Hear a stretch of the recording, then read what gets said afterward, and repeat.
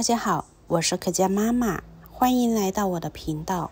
这里每天为您分享各种实用的养生知识，希望能给您的身体带来健康。我们的眼睛是万物的功能，是依赖于五脏六腑精气，特别是肝肾精气濡养。只有肝肾功能正常，眼睛才能够得到充分的营养，发挥正常的能力。而中老年人气血渐衰，肝肾精气亏损，不能够濡养眼目，就会出现近视眼、模糊、远望不明的症状，也就是人们常说的老花眼。表现为看近时越来越吃力，读书时看不清楚小字，需要借助老花眼放大镜才能够看清楚。今天就告诉大家，这菜多吃。可以有效的预防老花眼、近视眼、青光眼、白内障等等的眼部疾病，让你七十岁、八十岁、九十岁、一百岁都不需要戴老花镜。这种神奇的菜就是红苋菜。现在正是吃红苋菜的季节，新鲜、脆嫩又营养。我们先来准备一小把的红苋菜，我们把这个叶子给它摘下来。从医学的角度来看，红苋菜性凉，味甘，入肺、大肠经。它可以清热利湿、凉血止血、止痢。苋菜中所含的胡萝卜素、钙、铁非常丰富，有利于牙齿和骨骼、眼目、肝肾，维持心肌正常活动，促进造血，提高免疫力。民间一向是苋菜为补血加蔬。长寿菜，红苋菜可谓是老朋友、小朋友的天然钙片。苋菜类富含容易被人体吸收的钙质，老人和孩子常吃，可以补助、促进牙齿或骨骼生长发育。生活中如果不慎骨折，可以多补助吃一些苋菜，可以帮助伤口愈合。红苋菜中富含胡萝卜素。是视觉系统的重要组成部分，它在体内转化为维生素 A，对于视网膜的细胞生长和保持视觉适应性有着至关重要的作用。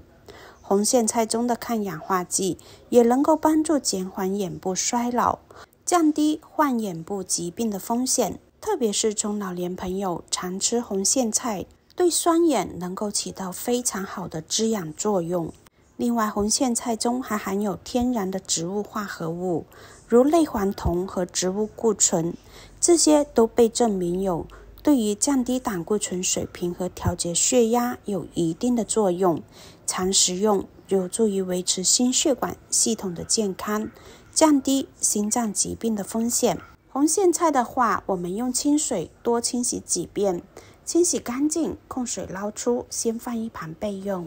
接下来准备一小节的铁棍山药。山药它是一味珍贵的中药材，中医认为山药味甘，性平，归脾、肺、肾三经，具有益气、养阴、补脾、益肺的作用。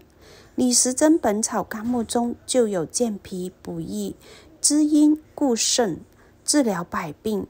而现代医学也研究证明，山药富含多种氨基酸和十余种。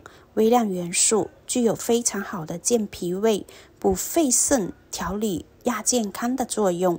山药不仅含有多种营养素，可以强健机体、滋肾益精，对于肝肾功能有保护作用。对于腰膝酸软、身体虚弱，吃山药有助于身体强壮，有很好的补益肝肾作用。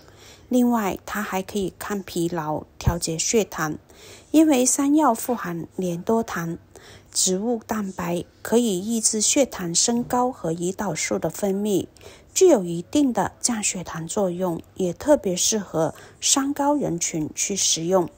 去皮的山药，我们把它切成薄片就可以啦。接下来准备一小块的南瓜。南瓜这个金黄色的美味佳肴，不仅味道甜美粉糯，还具有丰富的营养价值。近年来，南瓜在中医饮食养生中的地位也逐渐被人们重视。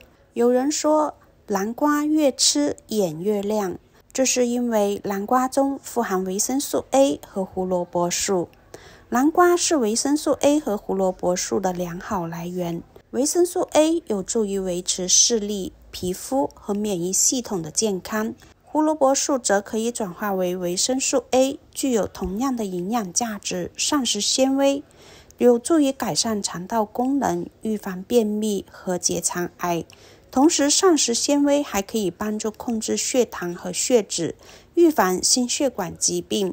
南瓜中的维生素 A 是一种对眼睛非常重要的营养物质。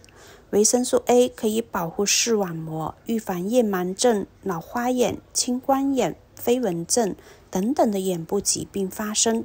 此外，南瓜中还含有一种叫做叶黄素的物质，它可以过滤有害的蓝光，减少眼睛的疲劳。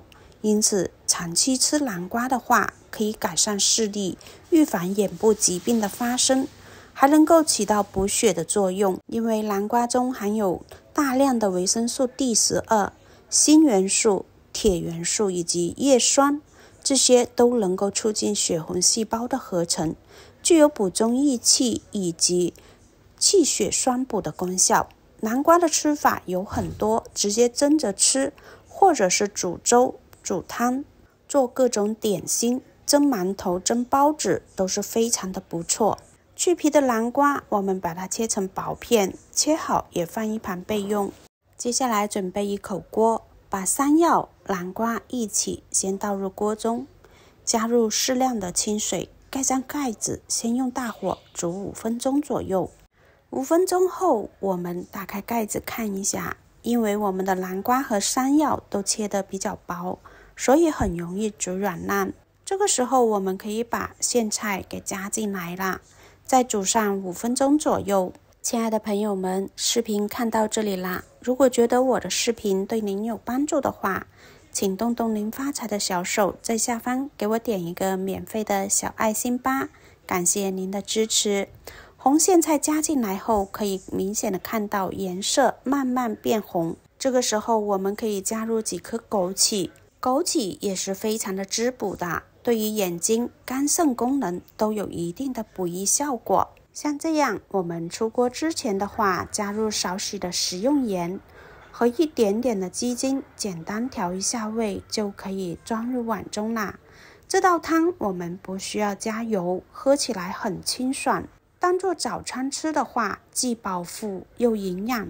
如果中老年朋友每周吃上一至两次的话，眼睛清晰，三高平稳，对身体有很大的补益效果。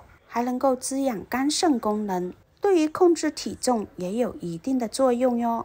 喜欢的朋友就收藏起来试试吧。今天的分享就到这里啦，感谢大家的观看，我们下期再见。